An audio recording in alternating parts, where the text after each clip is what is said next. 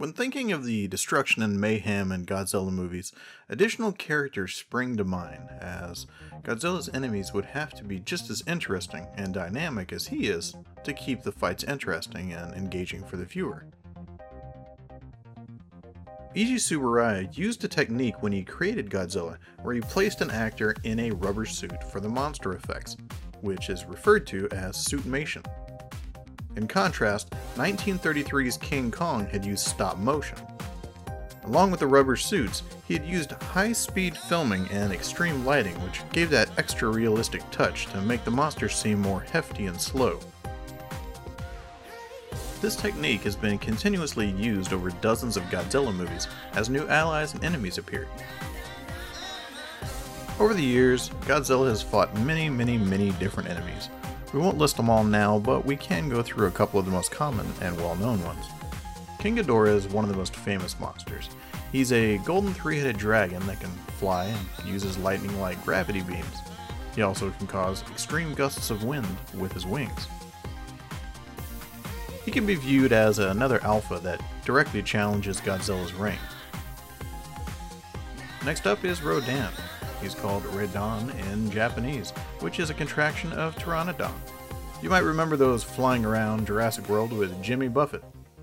Interestingly enough, pteranodons are not dinosaurs, they are pterosaurs.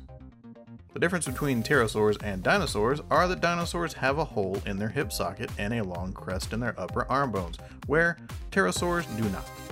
Also, the Mosasaurus is not a dinosaur either. And there you go.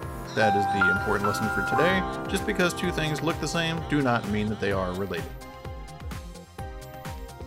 So back to Rodan.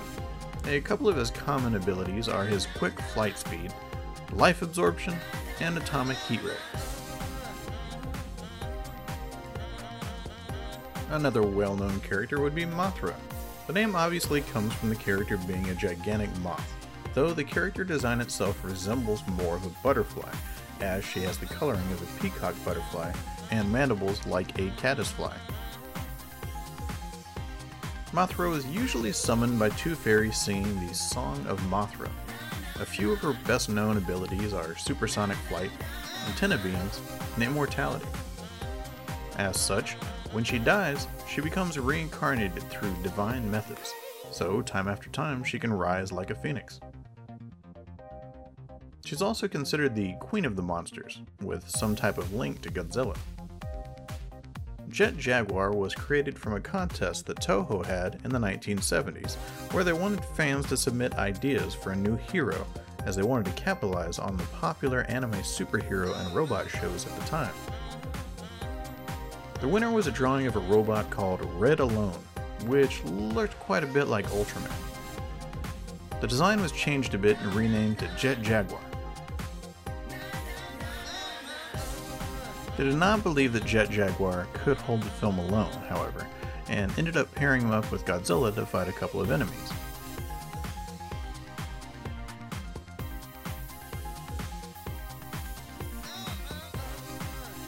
Muto, or Massive Unidentified Terrestrial Organism, is a type of kaiju that was recently created for the 2014 Godzilla. Muto is actually the name that was provided by Monarch before providing a specific name and even Godzilla was known as a Muto before being given its own name. These specific Mutos, though, are kaiju that have known male and female differences. the male Muto has wings, and the female Muto has eight legs. The female was also about 100 feet taller than the male. They can cause electromagnetic interference with their EMP like abilities. Over the years, Godzilla has allied or fought against over 35 monsters. Some enemies become allies in certain films so that things are always interesting and exciting. He's fought everything from Mecha Godzilla and Mecha King Ghidorah to less notable enemies like the Giant Condor.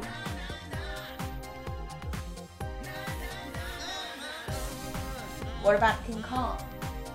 Well, King Kong was actually created before Godzilla in 1933. King Kong was not initially supposed to fight Godzilla, and was instead supposed to head into combat with a large version of Frankenstein's monster. This never came to fruition, as studios were not receptive to the stop motion animation technique. When King Kong finally fought Godzilla, the movie contained more humor, as Eiji Tsuburaya wanted to make Godzilla movies lighter and appeal to children's sensibilities and widen the audience.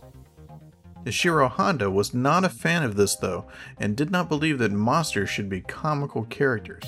The movie did contain scenes of King Kong flying in on balloons, so it's evident on who won that argument.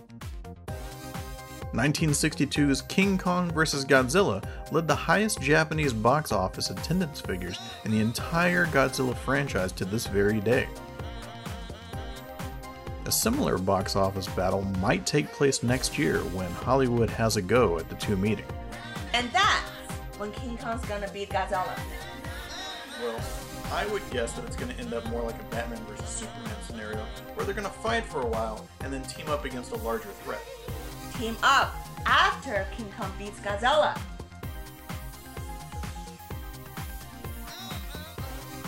Speaking of the Monsterverse, here's a riddle. What do you get when you mix Godzilla, Rodan, Mothra, King Ghidorah, a waffle connoisseur, Tywin Lannister, a crouching tiger, a lady with a love of fish, a guy trying to shove Verizon service down your throat, a demonologist, Ra's al Ghul, Ice Cube, and Ving Rhames. You get Godzilla 2, King of the Monsters. Godzilla has 32 films that have been produced by Toho and 3 Hollywood films, which will be 4 Hollywood films by 2020. This will put the count at 36 films, not including the 4 foreign adaptations of original Japanese films. For a bit of comparison, Harry Potter has 8 films, Star Wars has 11 films, Friday the 13th has 12 films, Star Trek has 13 films, the Marvel Cinematic Universe in total has 23 films, and James Bond is only up to 26 films. Outside of films, he's also fought many less expected adversaries such as S.H.I.E.L.D., the Fantastic Four, and the Avengers. So who knows, maybe he'll make an appearance in Phase 4. Godzilla remains the most recognizable kaiju in the world, as he's etched himself into pop culture history in numerous ways. He even has his own star on the Hollywood Walk of Fame. This alone is quite a feat, as some of the most recognizable and renowned actors don't even have a star, like Leonardo DiCaprio, Clint Eastwood, Angelina Jolie, Brad Pitt, Jim Carrey, Will Smith, and even the famous filmmaker George Lucas.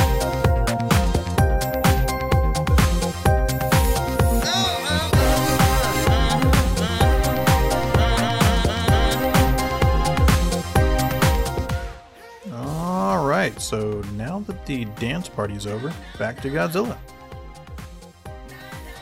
Godzilla was awarded the MTV Lifetime Achievement Award in 1996, joining the fictional character likes of Jason Voorhees, the Three Stooges, John Shaft, Chewbacca, and Jackie Chan. It was presented by Captain Picard himself, Patrick Stewart, and Godzilla producer Shogo Tomiyama said a few words. Godzilla was very excited.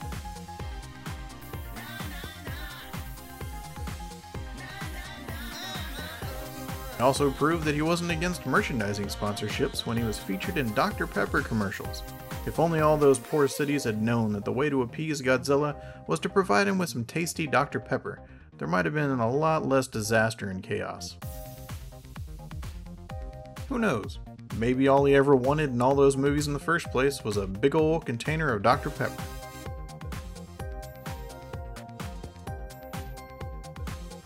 He also played basketball against Charles Barkley for a Nike commercial. Good on Godzilla for using his popularity to make a couple extra bucks. He didn't use his fame to only make money though. Knowing how much proper parenting is valued, Godzilla showed the world how to be a good father and proved that you don't have to be bigger than life to be a good dad when he did an ad council commercial for fatherhood.org. This showed Godzilla's softer side and allowed him to seem relatable to viewers as he was a parent, just like many of them. Steven Spielberg said that Godzilla was an inspiration for creating Jurassic Park because he viewed the 1956 Godzilla King of Monsters as a dinosaur movie that made the viewers believe the events in the movie were happening. He also used Godzilla as an inspiration for Jaws.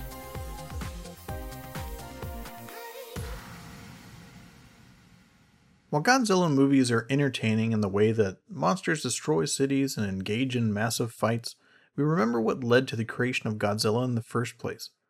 At a time of war where a character was made to remind a population of the immediate threat that could strike without notice, the country was able to display the message in an entertaining yet impactful fashion. Even in today's iterations, Godzilla remains a protector of the Earth and will do what is needed to protect it, fighting off monsters that would impact the natural balance of things.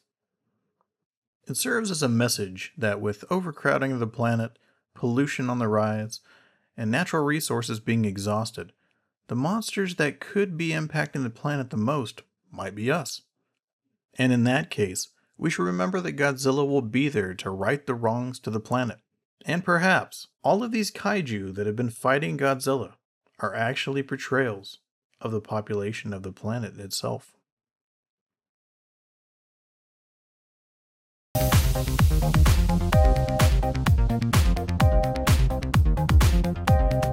Looks like the dance party found its way to our house, so we'll go ahead and stop the video now and maybe revisit the subject when King Kong and Godzilla fight again. And King Kong wins. Problem with King Wait, Kong and wait. Godzilla? Thanks for watching Pop Culture History. See you next time. What? What's the big deal? King Kong's the best. Oh, Have you seen the movie before? before. Yes, That's not it. Why? Why do you think that? Smarter. It's more close to Why is he more smart? Why is he smart? Because it's closer to the humans. But Godzilla's a god.